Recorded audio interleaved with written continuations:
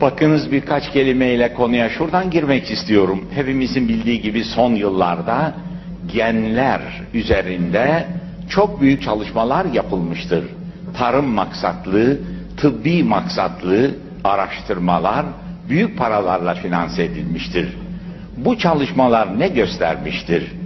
Bir nebat, bir hayvan ve bir insan sonunda bir dişi hücreyle bir erkek hücrenin bir araya gelmesinden teşekkül eden bir ilk hücreden meydana geliyor. Bu ilk hücrenin hepsinde bir kabuk var, bir plazma var ve bir kromozom var. Ama birisinden buğday çıkıyor, birisinden kedi çıkıyor, birisinden insan çıkıyor. Bu neden böyle oluyor diye işte genler üzerindeki araştırmalar şu gerçekleri ortaya koymuştur ki insan kromozomu hayvanların ve nebatlarınkinden çok farklıdır.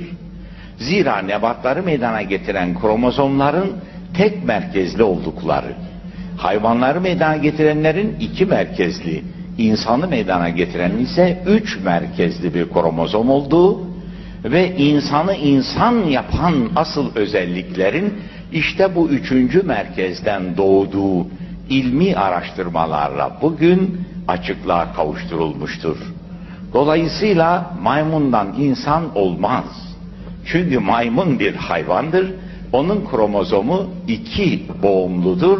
Asıl insanı insan yapan üçüncü boğum daha kromozomun içinde bile mevcut değildir. Bu üçüncü boğum nedir ki insanı insan yapıyor? İnsanı gülen hayvan diye tarif etmek çok yanlıştır.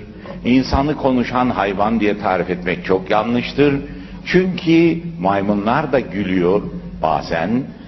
Birçok hayvanlar hatta balıklar uzak denizlerde birbirleriyle telsizlerle konuşabiliyorlar. Peki insanı hayvandan ayıran nedir dediğimiz zaman Cenab-ı Hakk'ın işte o üçüncü boğumdan dolayı insanlara hasetmiş olduğu dört tane temel özelliktir. İnsan öyle bir mahluktur ki bir, doğruyla yanlışı ayırabiliyor. İki, insan öyle bir mahluktur ki iyi ile kötüyü, güzelle çirkini ayırabiliyor. Üç, insan öyle bir mahluktur ki adaletle zulmü ayırabiliyor.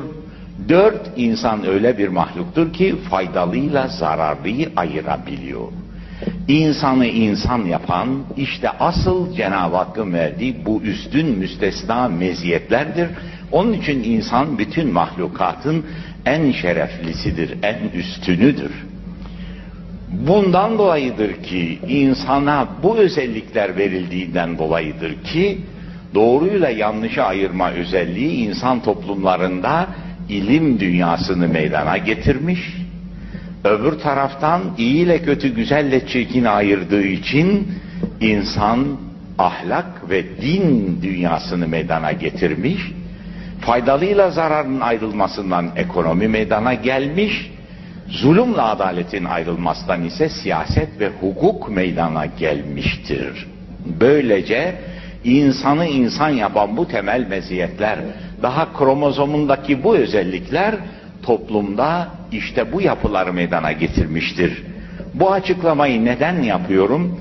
İlim ve dinin yerini çok iyi kavrayalım diye. Ahlakın yerini çok iyi kavrayalım diye.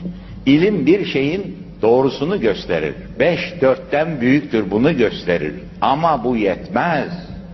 Eğer o beş kazanç haramsa, dört kazanç helalse, işte dinde, ahlakta gelir, o dört helal kazancın beş haram kazandan, kazançtan üstün olduğunu insana öğretir.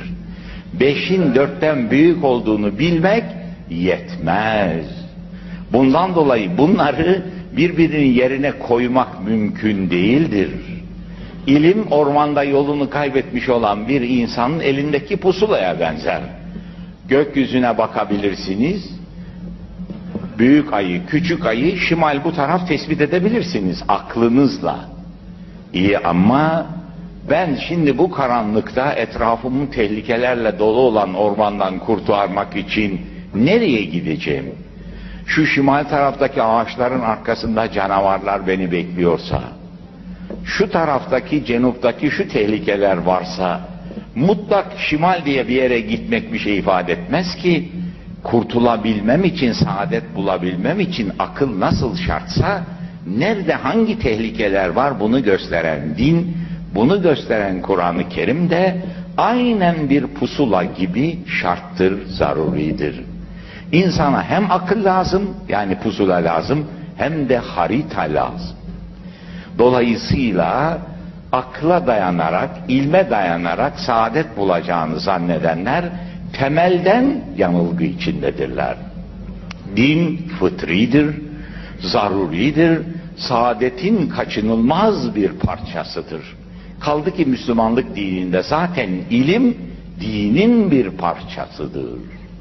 Dolayısıyla bu yanılgıdan kurtulmak mecburiyetindeyiz.